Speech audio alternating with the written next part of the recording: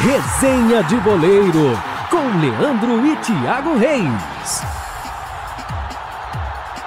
E a resenha de boleiro deste domingo, Leandro recebe, sem dúvida, o maior técnico da nova geração dos últimos anos em Minas Gerais, bicampeão brasileiro, campeão de Copa do Brasil. Aliás, o homem é especialista em Copa do, do Brasil. Tudo bem, Leandro? Boa tarde, Thiago, um prazer. Ele tem o quê? Tem muitos títulos. Neto, o que, que ele tem mais? Ah, acho que ele tem mais título que Neto. Boa pergunta. Tudo bem, Marcelo? Boa tudo tarde, bem, amigo. Tudo bem. Uh, um abraço, boa tarde. É um prazer estar aqui com vocês. É...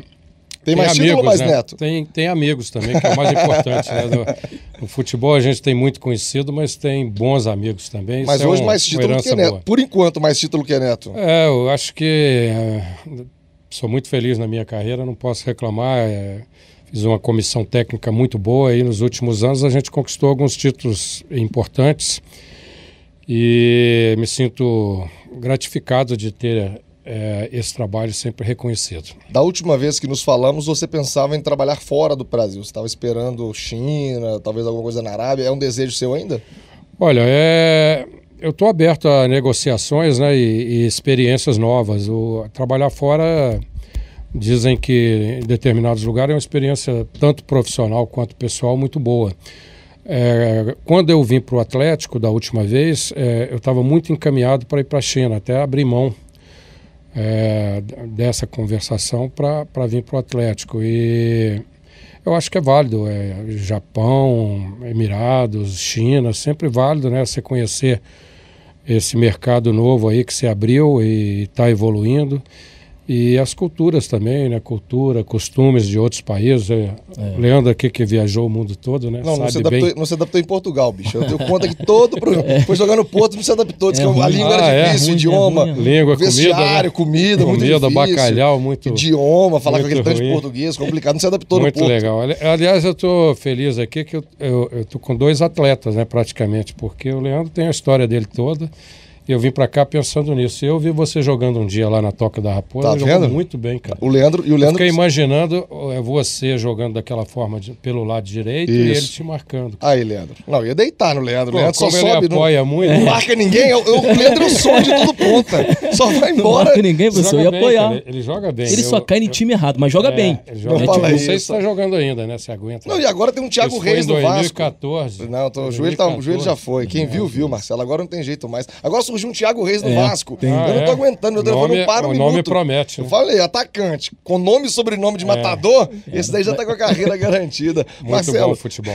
você falou do, do- da sua passagem pelo Cruzeiro, né? Eu acho que não tem, viu, Leandro? Você que foi campeão da Copa do Brasil e do Brasileiro. Título é igual filho, né? Não tem um mais bonito que o É. outro. Mas ganhar a Copa do Brasil, que é mata-mata, é melhor do que o brasileiro de ponto corrido, porque você já foi campeão no ponto corrido. É. O ponto corrido já vai dando aquela sensação de que tá chegando, vai ser campeão mesmo, não tem jeito. A Copa do Brasil tem um gostinho diferente, Leandro?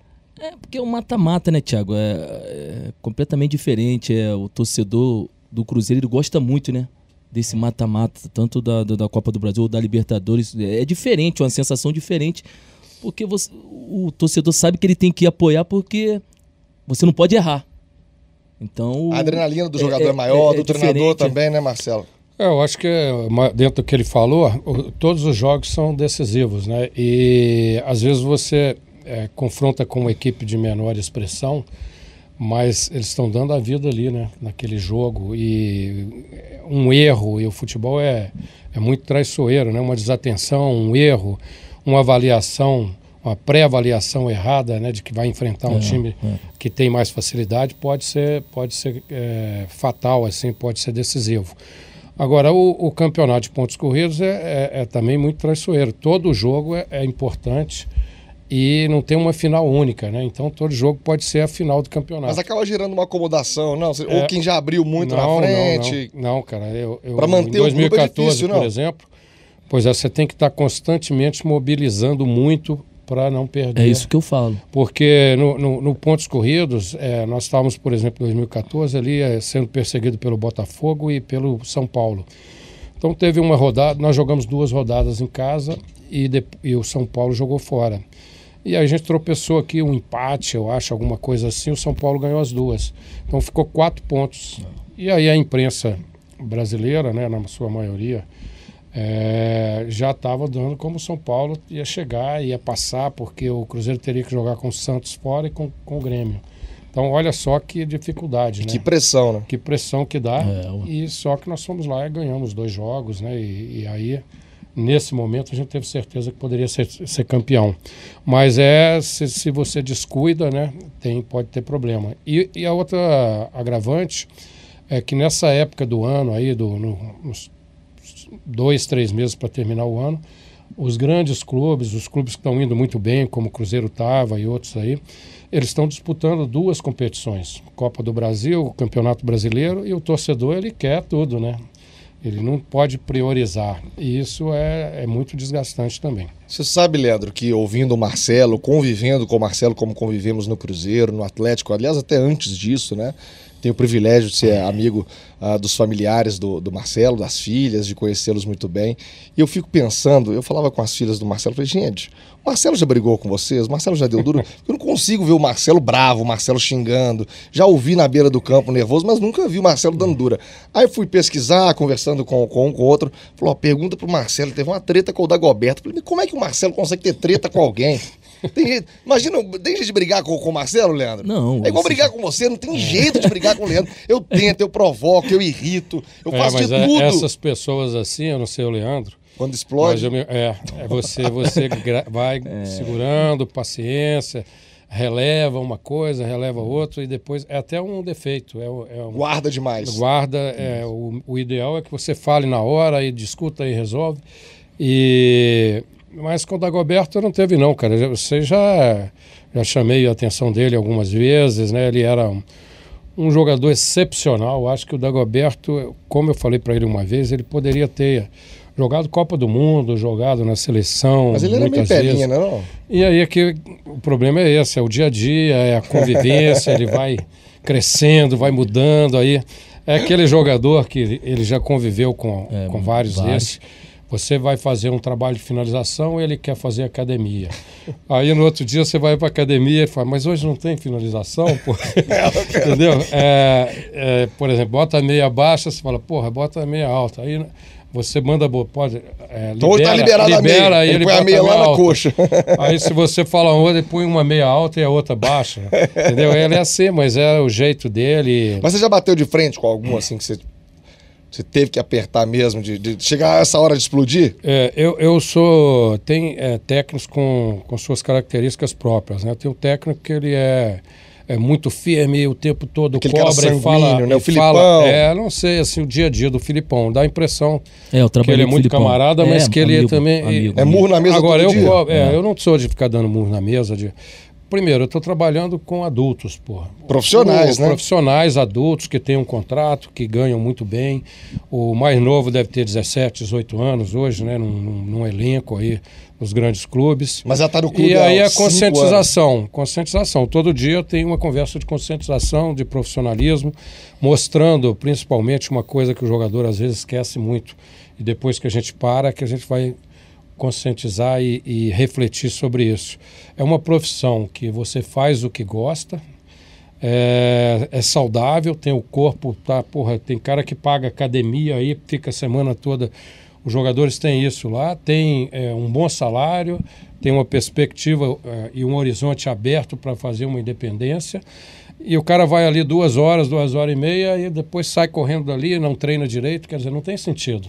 Né? Se você faz o que gosta, tem prazer. E um período curtíssimo, né? trabalhar Você sabe que muito, aquilo é. é. curto, né? E felizmente eu tenho tido sorte com isso. Eu não tenho, não tenho tido assim atrito mais graves, não. Dia a dia acontece uma coisa, outra, tirar um do treino, chamar a atenção do outro, uma, uma dividida mais forte, né? Que o treino tem que ser É, faz parte. semelhante ao jogo, então sai uma dividida mais forte, um jogador está na reserva, está mais nervoso, isso a gente já está acostumado. Tem que ir é contornando. tranquilo. Marcelo, eu sei que você tem um problema muito comum comigo, Leandro. Eu e o Marcelo temos... É, nós somos ruins de nome.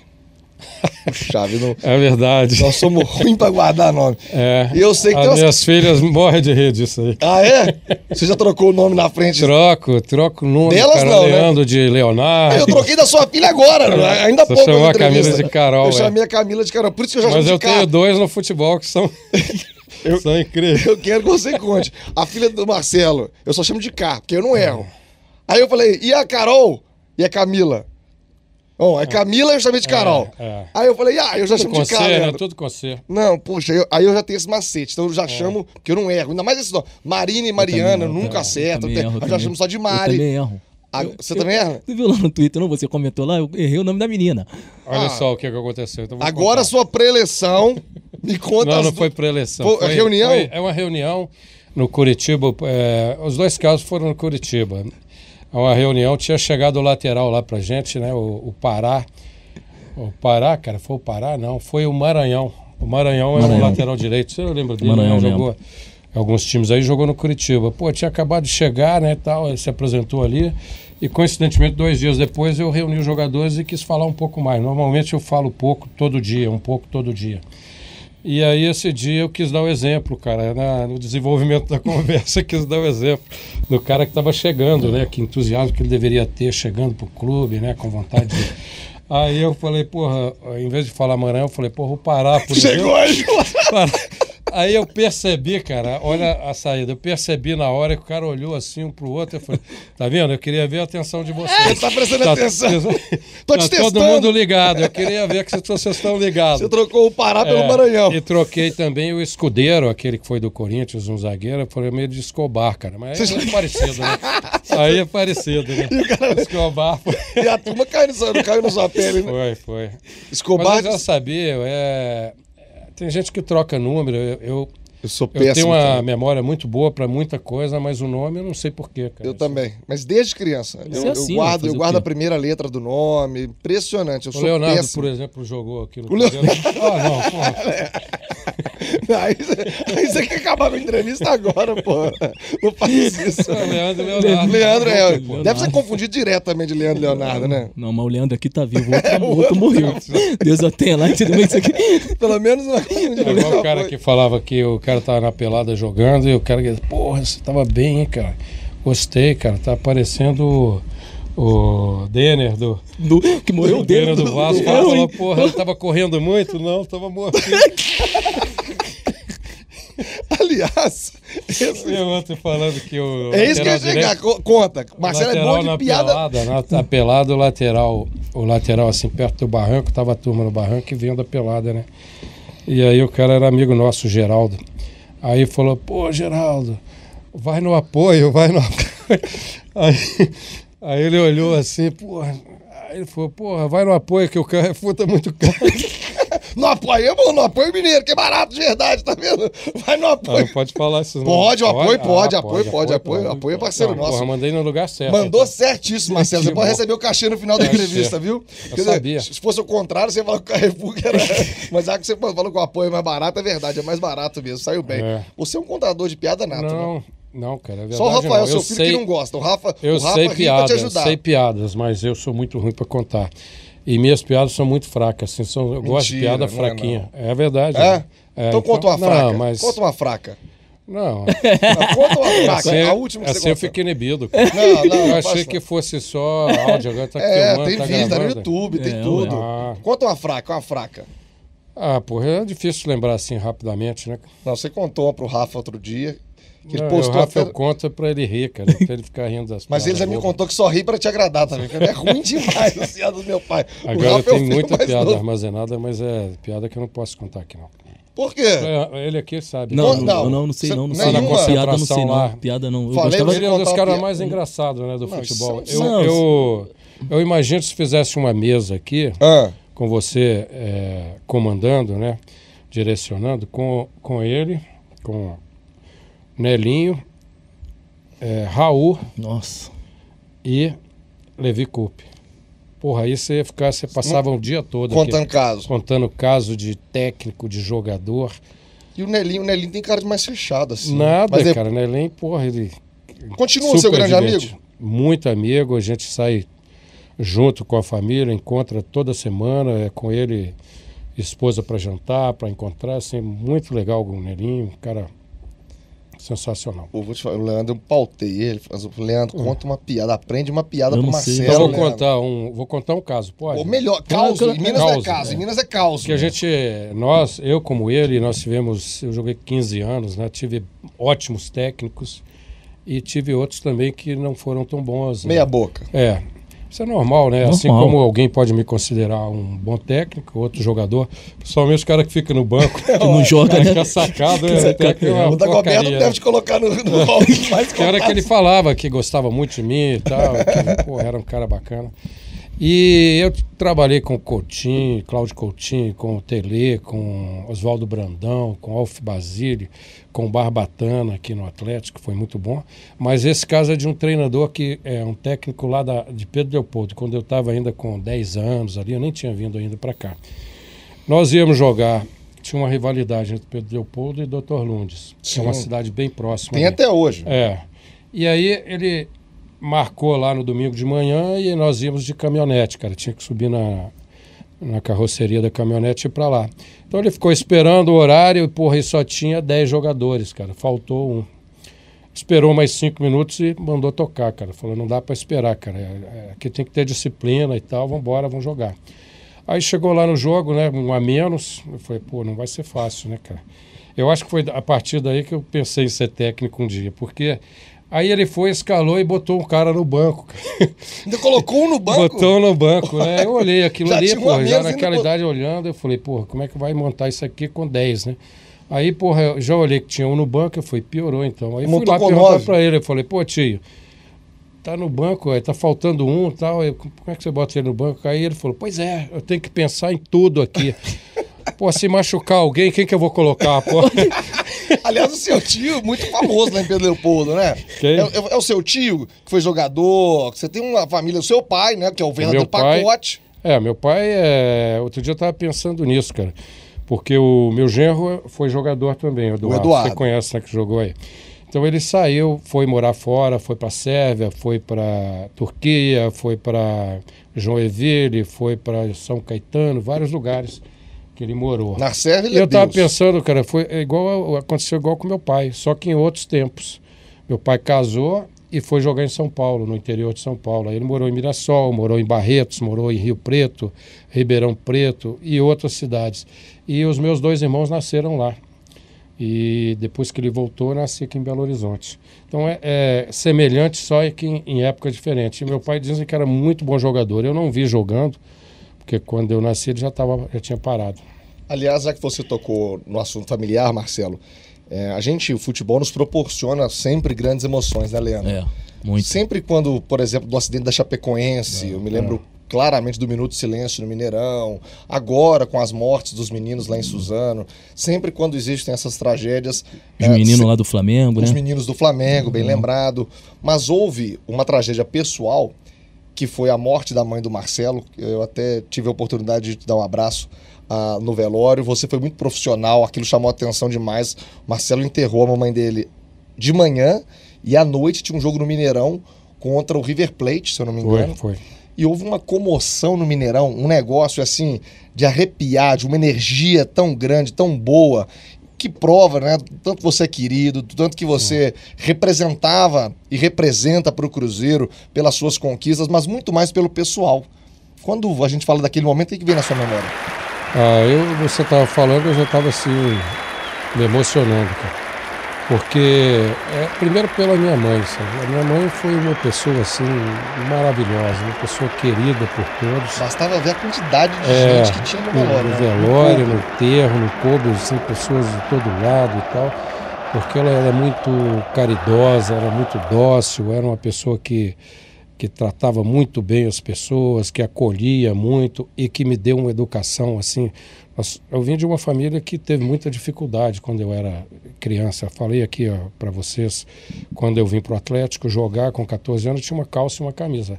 Mas nunca faltou amor, nunca faltou educação, né? E assim, é, ela foi um exemplo grande, deixou um legado grande para a gente. A primeira coisa é isso, né? Mas ela já era também uma pessoa mais velha e teve uma doença grave, né? Com 87 anos. E acaba sendo uma coisa natural com essa idade. Ela viveu muito e nos, nos deixou um exemplo muito grande. E depois pela reação do, do torcedor do Cruzeiro, né? Naquele momento, né? Entendendo a, a, a minha dor e, e o conforto que deu. Ah, o Mineirão todo gritando o nome da minha mãe, gritando. Assim, foi muito emocionante e muito marcante na minha, na minha vida. E eu acho que até é, esse momento e logo depois da minha demissão, é, ficou ali um sentimento meio diferente de. Ficou de- conflitante, de uma- né? É. E há pouco tempo tinha. Eu estava saindo de uma missa e duas moças vieram ao meu lado e uma começou a chorar. E aí eu não estava entendendo, né? Chorando, abraçando, agradecendo, e- mas ela falou que estava no Mineirão aquele dia, então foi muito um pouco disso também. Né? Isso muito mexe, isso mexe. gratificante é esse reconhecimento, né? E, e o reconhecimento de trabalho também, né? Isso aí que nos impulsiona sempre para tentar melhorar o nosso trabalho. E quem já perdeu a mãe não é o seu caso É. bem, Leandro. Mas já é o meu. Você ter aquela atmosfera, todos nós absorvemos É. um pouquinho daquilo, né? Você assim, que coisa boa, né? É, é sentir o abraço de mãe mesmo, né? Aquele abraço coletivo, como foi. É, todo familiar é, é- a gente sente, né? É importante, mas a mãe é sempre É diferente, muito né? diferente, É Então, diferente. Se você ainda tem mãe, aproveita Tem, bem a aproveita. sua mãe, porque a gente sente muita falta. É isso aí, meu amigo. Tem que desfrutar mesmo, porque a mãe é única e passa. Infelizmente, passa até rápido É. demais, né, Marcelo? Mas, Marcelo, pra gente concluir esse papo, é, é- é sempre muito bom ter você, e eu faço questão sempre, sabe, Marcelo? É, o Leandro também, a gente frisar aqui no programa, de trazer as pessoas que fizeram história, porque muita gente, inclusive o Rafael, seu filho, talvez não conheça a fundo a sua história enquanto jogador, tudo que você representou, porque em várias resenhas que nós fizemos, a gente coloca assim, o Raul mesmo foi um, quando veio aqui o Buião, o Sérgio Araújo. Pergunta assim, quem você viu jogar que te encanta? Vários. Marcelo Oliveira. A gente fala, pô, Opa. você tá fazendo uma lista aqui, a gente tá pensando em Pelé. Não, Marcelo Oliveira, de inteligência, de posicionamento em campo. É, isso é um, é um privilégio e um orgulho muito grande, uma honra, né? Porque eu joguei numa, numa época que as gerações eram muito boas. Né? Você, pô, quando eu vim jogar, eu já via jogar o time do Atlético, que era muito bom, e o Cruzeiro, que era sensacional, né? O Cruzeiro encantou o Brasil aí com jogadores geniais. Para falar dois, né? Tostão, Dirceu Seu Lopes, Lopes. que é lá da minha terra, que era gênio também. E aí vinha Piazza, Natal e tantos outros. E o Atlético também, com, da mesma forma, com, com o Lola, com o Laci, né, com o Dair, com Humberto Ramos, Romeu, Cinco Neg, que veio do Uruguai. Quer dizer, era uma, eh, eu joguei numa época que eh, tinha muito jogador bom e para o jogador de Minas ir a uma seleção ele tinha que ter muita sorte ou então tá muito bem. E acabei tendo uma convocação para a seleção, embora não tivesse participado da Copa do Mundo. Então, é, isso é muito gratificante. E a outra coisa que eu sempre lembro e sou muito grato é ter o reconhecimento e respeito de, de duas torcidas como Atlético e Cruzeiro, né? Isso fica evidenciado no dia a dia por onde eu vou e eu me orgulho muito disso. Eu acho que faltou passar no América, né? Eu passei no América jogando, mas foi, é, história. foi muito curto, é. Mas pode passar indo, ué. É, como treinador, Mas, né? claro. Pode passar Você ainda. tá derrubando o Givanildo? Não, não. Respeito, Givanildo. Mas no futebol, né? Tudo pode Pô, acontecer. O Givanildo tá bem, pô. Tá bem, ué. Como é que você fala assim? Leandro já Não. derrubando o cara Não, na não cara dura, Leandro. Mas, Thiago, eu. Não, eu o Givanildo é um treinador não só experiente, como assim de, de um caráter, de uma dignidade, né? E a gente fica impressionado como ele tem uma afinidade com a América. O América, eu vejo jogos aí, e vejo que o América está jogando muito bem, tem todas as possibilidades, por exemplo, nesse Campeonato Mineiro, né? Então é muito bacana. Dá moral pro Thiago, não. Dá moral pro É Thiago, casa, o não. O Givanildo fica em casa. O fica em casa. Então, Thiago, eu, eu sou defensor do Marcelo. Até antes do programa eu falei, ó, vamos trabalhar. Porque nós aqui no Brasil a gente tem uma cultura muito diferente, né? Aqui é tudo é pressão, tudo com. Mas só que às vezes a galera vai muito pelo número. Eu vejo, com todo respeito a muitos treinadores que estão aí, aí falam, ah, mas o treinador fulano ganhou o quê? Não ganhou nada. O Marcelo ganhou tudo e tá aí desempregado. E tem um grande exemplo, mas o desemprego do Marcelo é temporário, né? Aquela questão de, de, de alguos meses até começar Não. o brasileiro. E certamente você deve ter recebido propostas que não quis pegar trabalho pelo meio, É. aquele bonde. Na de verdade, é, para ser bem sincero, eu, eu, eu recebi umas quatro propostas que eu não, não aceitei, eu não achei que não era interessante. E esperava receber de uma ou duas de outros clubes que acabaram não vindo também. Tem um outro lado, né? Agora é minha vez. também. Mas é. A minha, minha função é assim, eu tenho que trabalhar, sabe, é, é, intensamente, lealmente e as coisas vão acontecer. Eu não tenho essa preocupação. Acho que o tempo que eu estou trabalhando aí me dá essa tranquilidade de dar uma descansada também, porque além de, da pressão do dia a dia, que, que é muito forte e pode até prejudicar a saúde de alguns técnicos, alguns aí estão fazendo... Estão tendo que. Ramalho, É, tá? além disso, é, além dessa pressão, é, a gente se, tem que escolher um pouco o trabalho, sabe? Porque os últimos dois trabalhos que eu fiz é, é muita dificuldade, cara. É muita dificuldade. Além do, da parte tática, do treinamento. normal do futebol. É, da parte física, do, do- da composição, da escalação do time, da estratégia, você tem que estar mobilizando para para administrativo, para salário, para Salário isso, para segurar jogador e os dois últimos trabalhos foram difíceis. O Fluminense, os jogadores foram muito bacanas, comprometidos. Não tive um problema, mas, mas acaba refletindo um pouco, né? E o América salvou o Fluminense para variar. Ô, Marcelo, o Leandro não sabe, mas o Marcelo, para mim, um grande exemplo é a sua persistência. O Marcelo, quando foi assumir o Cruzeiro, eu estava cobrindo o Cruzeiro na É. época. E aí, Eu tava longe, mas eu tava você já acompanhando. estava jogando ainda, né? Não, tava, na tava- Cabo Frio, assim, é, enganando, tava em Cabo Frio enganando lá, é, passando a sacolinha. curtindo um pouquinho a praia. Eu achei que você tivesse parado, senão eu tinha, eu tinha Já- te pegado. é, né? o, o O Thiago falou aqui- que tinha parado, pô. Não, já parou. Em 2013, Ah. tava lá na Cabo Friense. Imagina, enganando em 2013, quanto tempo. O Marcelo tinha 90%, Só meio toque. 90% de rejeição. É. Eu me lembro com o Emanuel. Emanuel, "Ah, acho que o Marcelo não vem, não. Essa pressão aí. E o Marcelo caladinho, bom mineiro. Aliás, o mérito também do presidente Gilvan de Pinho Tavares, que enfrentou na época e colocou o Marcelo, que bancou o Marcelo. Chama, a torcida foi pra porta da toca, fazer, antes do. Nunca vi isso. Derrubar o treinador antes ele assumir o cargo. Já tinha manifestação, fora Marcelo, fora. Antes do Marcelo sequer se apresentar. E o que, que você acha que, que foi decisivo para que eu tivesse vindo? O quê?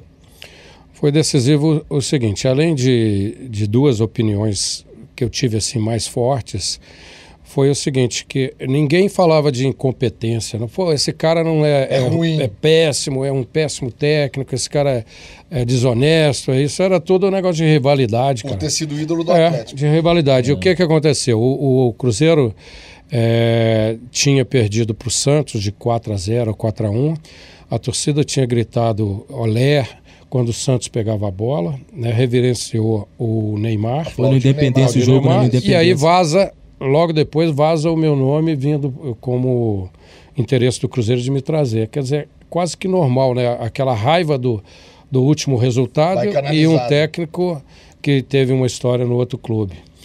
E aí eu cheguei a algum momento em, em pensar assim, pô, mas né, eu tenho chance de ir para qualquer outro. Eu tinha mais duas propostas de sair para trabalhar. Posso ficar fora, mas estão questionando o meu trabalho? Não. O Cruzeiro tem uma grande torcida? Tem. É um grande clube? É tradicional? É. Tem uma estrutura ótima? É. Por que não pensar que do lado bom, então? Por que não pensar, porra, Você tinha eu confiança tenho no presidente. confiança de que eu posso vir aqui numa estrutura dessa com bons jogadores e ainda com a possibilidade de, de montar elenco, isso talvez tenha sido o mais importante. Nós sentamos numa mesa como essa, todo mundo, e, e montamos o elenco do Cruzeiro.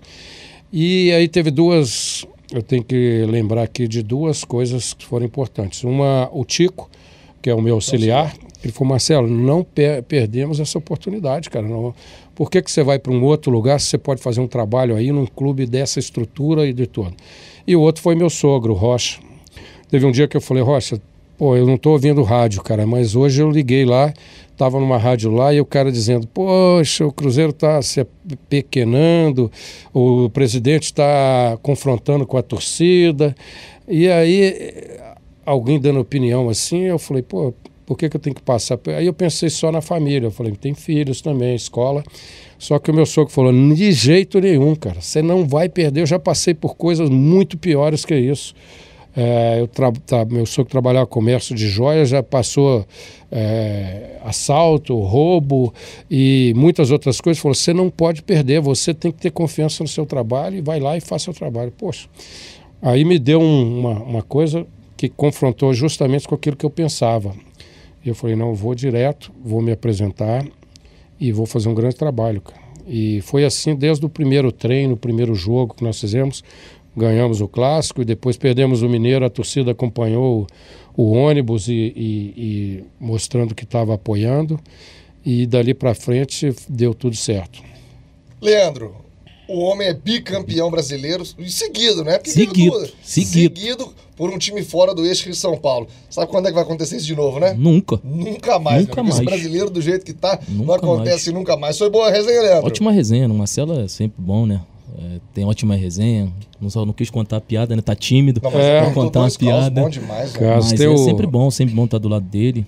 Tem o último caso que é o seguinte, que ótimo. naquela, só para finalizar, a- aquela época que eu joguei, os caras acho que jogavam muito bem, né? Jogavam, Só tinha tinha jogador craque. Você tinha no time assim, porra, sete jogadores é, de alto nível, algum quatro de seleção de um time de outro, e os jogadores corriam menos do que corre hoje. E bebiam mais.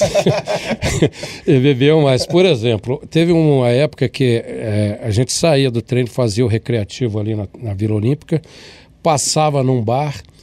Eu, eu bebia um copinho de cerveja, não era de beber muito, mas eu acompanhava a turma. E aí pegava ali oito caras ali, tomava ali umas 15 cervejinhas rapidinho. Assim não tinha nem prazer de tomar, cara. Rapidinho, 10 cervejinhas rapidinho e saía. E o técnico dessa época era o Barbatana, que era um excepcional técnico, era Mas linha dura, né? linha duríssima, mas ele foi responsável pela maioria dos jogadores que cresceram aí, que foram ídolos do Atlético. E ele, pô, alguém falou para ele, ele descobriu onde era o bar, que a gente botava os carros no fundo lá do Escondidinho. Aí estávamos lá, cara, e o, e o e alguém falou, pô, o Barbatana chegou aí, cara, Eita. tá vindo aí, ele, olha lá, ele tá arrastando ali, Eita. ele tá vindo escondidinho. E aí, só que tava o Éder, tava o Nelinho, tá, esse pessoal todo ali. Só Luiz- é, só cara Miranda, não sei quem. Aí a hora que veio, aí o Éder ficou assim, falou, ué, Babatana, você tá aí? Você tá aí? Ele chegou, o que que é isso? Ele falou, ué, você quer tomar um copinho aqui com a gente? Nós estamos tomando uma cervejinha aqui rapidinho. Aí ele falou, não, não, tudo bem, só vim conhecer aqui. Ele tá tudo pipocou, bem, né? não demora não, que o almoço é meio dia. Ele pipocou, né? Ele viu o ele tamanho, pipocou. viu o tamanho Ué, dos estavam lá, Só brabo, só brabo lá, vai falar o quê? Foi bem, né? É, foi só bem, feras, só vim conhecer o ambiente. É, né? ué. Tá bom, tranquilo, tá geladinho aí. Mas é muito bom, meu amigo. Falou. Muito bom. Muito bom te rever. Que você tenha muito Um sucesso prazer, no seu obrigado, próximo cara. clube. Já na torcida. Eu falo que tem um problema da gente ficar amigo dessa turma, que eles vão mudando de clube e a gente começa a torcer junto. É. Aí o Fluminense Ah, não essa- ganhava. Eu falei, meu Deus do céu, lá vai. Muito comigo também. Assiste, Torço muito começa a por, jogo, amigo. cara. É, começa a assistir jogo do Fluminense, lá em cá, meu menino de 5 anos tá virando Fluminense, gritando, vai Fluminense, vai Fluminense. Mas é muito bom, é muito prazeroso sempre. Falou, cara. Nas conquistas também, poder compartilhar, mandar aquela mensagem, dar os parabéns. E é muito bom ter você aqui na resenha, viu? Foi muito É, da legal. mesma forma, eu estava meio alheio aí, queria ficar um pouquinho distanciado mesmo para curtir um pouco a família. A gente praticamente não vê os filhos crescer e, e- e netos agora, né? Mas eu fiz questão de vir aqui por causa de você, que é um amigo antigo, e o nosso Leandro aqui, que hoje não contou muito caso não, mas eu sei que ele é bom disso. Não, tem uns casos, tem uns casos. É. ele tá tímido. Quando vem treinador, eu nunca vi isso. Morre de medo. Não, tem que- tem que escutar. É, o- é o trauma, né? É, Não, é. Perto não. do cara, né? Respeita a patente, a É, tem patente que respeitar, é, ué, tem que respeitar. Tem que respeitar, ué, claro. Mas foi bom, galera. Muito obrigado, viu, Marcelo. rapaz. Grande abraço. Grande abraço, tudo de bom, felicidade, sucesso aí como sempre. Leandro, domingo que vem tem mais. Mais um top, Tiagão. Valeu.